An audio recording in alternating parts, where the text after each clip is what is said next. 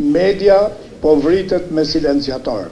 Ndërsa pritet që tridhjetë e një korriku të shënonte dhe kalimin në transmetime numerike, presioni i operatorëve lokalë dhe kombëtarë ka bërë që Autoriteti i Medias Audiovizive të vendosë që të shtyjë deri më datën dhjetë shtator mbylljen e transmetimeve analoge. Në tryezën e organizuar me kërkesë të shoqatave dhe operatorëve mediatikë në vend, Këta të fundit, kërkuan që të jetë dhjetori afati i mbylljes së transmetimeve analoge.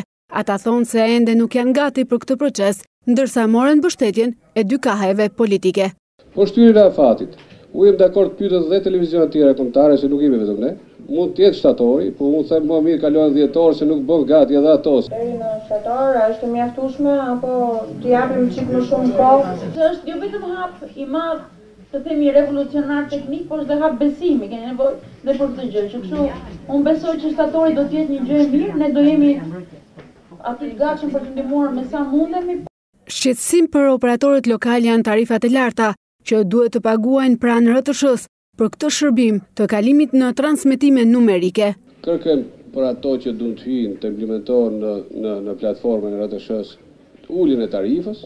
A ka mundësi për rishikim të tarifës në bazë të standardeve edhe të vendeve të rajonit edhe të standardeve europiane? Pra, a ka vend për rishikim apo jo? Operatorët do të duhen të paguajnë për një vit tarifat e shërbimit për transmetimet e tyre në platformat numerike, teksa është parashikuar edhe rimbursim për këtë tarifë. Por është pikërisht rimbursimi që nuk e kënaq operatorët lokalë, duke pasur parasysh edhe traditën e rimbursimeve në vend. Pagesa për një vit do bëhet nga shteti.